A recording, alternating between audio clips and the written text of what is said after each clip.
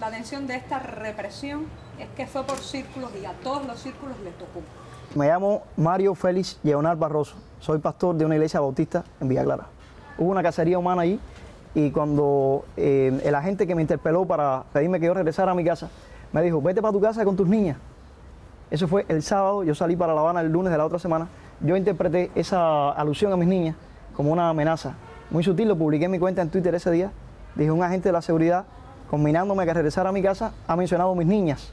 Y yo responsabilizo a la seguridad del Estado por tal amenaza. Además, todavía el móvil mío está, sin, está incomunicado. Me llevaron a cerca de las 10 de la noche también. Me dejaron en el mismo lugar donde me habían detenido. El domingo ya estaba un carro rojo con chapa azul, con cuatro personas adentro y varias veces pasando un Suzuki por fuera de mi casa. Por la mañana salí y cuando a doblar la cuadra siento que el carro lado arranca con una velocidad enorme. Ya me cogen y me cogen a la fuerza para dentro del carro.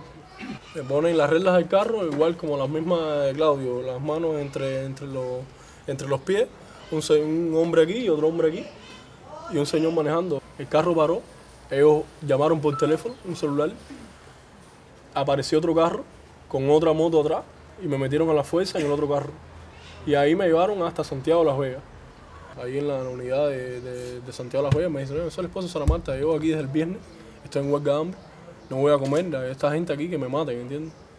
Y a mí me dio mucho placer encontrar a otra persona como yo ahí. Lo saludé con mucho cariño, ¿eh? Estuvimos, me metieron para, la celda. Y él me contaba que la esposa de él, Sara Marta, ya la habían llevado igual el mismo viernes, pero para el cotorro, lo habían separado. Y él estaba, él se pellizcó y el pellejo se quedaba así, o sea, él estaba deshidratado, él estaba deshidratado. Julio, Julio se llama él, sí. No, compadre, tú mañana vas a hacer un acto. Después nos dimos cuenta que ahí eh, llegaron damas de blanco que le habían dado algunos golpes, que le habían quitado la ropa en la calle. He participado en algunas cosas, pero realmente no, nunca había sentido de, lleno ese, esa represión. Un agente de la seguridad del Estado, que es de allá de, de Alamar, me mira, se me acerca y me dice, es para Alamar. O sea, no te puedes montar en una boda que vaya ni para bolleros ni para ningún otro lado. Tienes que ir para tu casa y guardarte ahí.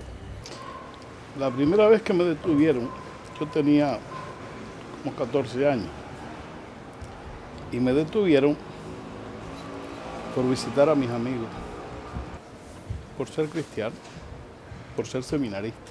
Esta vez eran como, como 10 o 12 personas que estaban vigilando. Normalmente es una o dos.